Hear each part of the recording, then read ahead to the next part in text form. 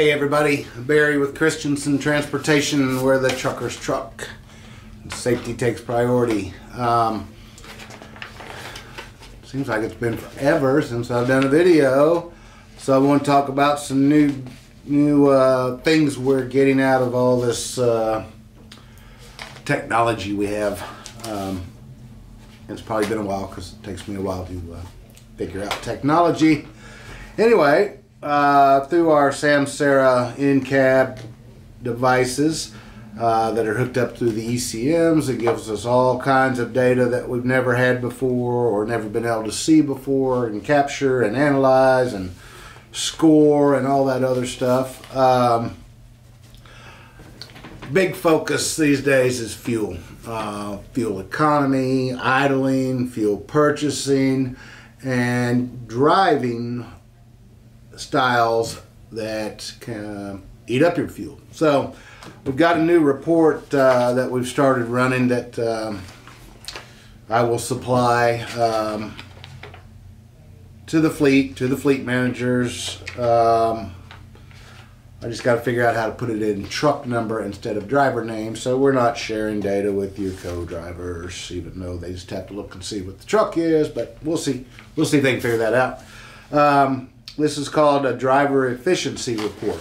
And so that's basically, so in the Kenworths, uh, I noticed when I was driving those back from Nashville when we first got those trucks, it would it would have a little score, a little red light, yellow light, green light uh, when you did something poorly or something good. And um, you know, of course, I'm the one that never has speeding tickets, and uh, people make fun of me for holding up traffic. But anyway, Got good insurance rates and I don't have tickets. So, um, anyway, you see your exit, you get over, you slow down, you put your turn signal on, you coast, and you make a nice easy turn, and it goes ding, ding, ding. Good job, nice driving.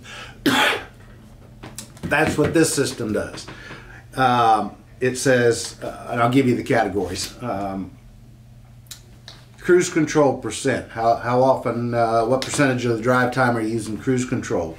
Because uh, remember, with the cruise control comes adaptive cruise. If somebody pulls out, it backs you off. They get out of the way, it speeds you up. You've got predictive cruise that ramps you up to go up the hills and, and you know uses your your your uh, I don't know the technical term, but uh, your weight your something, your force, your G forces, your inertia, whatever it is, helps you use that to your advantage. Um, coasting, uh, percentage of the time that you coast.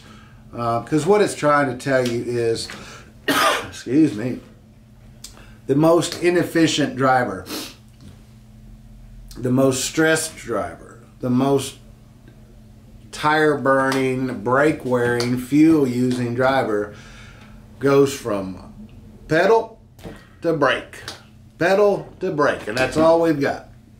There's no coasting, so you're wearing out your tires, you're wearing out your brakes, you're using the most fuel, um, and it's stressful.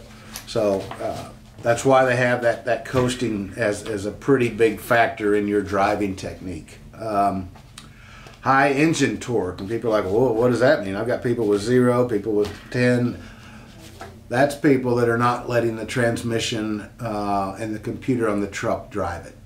You're taking the little knob on the gear shift and you're clicking manually up and down gears and you're revving it up when normally it wouldn't do it. It would shift at 1100 RPM, but you're impatient. You think you got to never lose one mile an hour going up the hill or you're in some kind of NASCAR race where you got to leave the stoplight quicker and you want to do this. So most companies took that out of the driver's hands. Uh, I tried to, it didn't work. But anyway, that's why you have high engine torque is because you're you're doing that. Um, it measures your idle time. Um, that's probably the biggest thing that we've been harping on lately because it's just an absolute waste of fuel.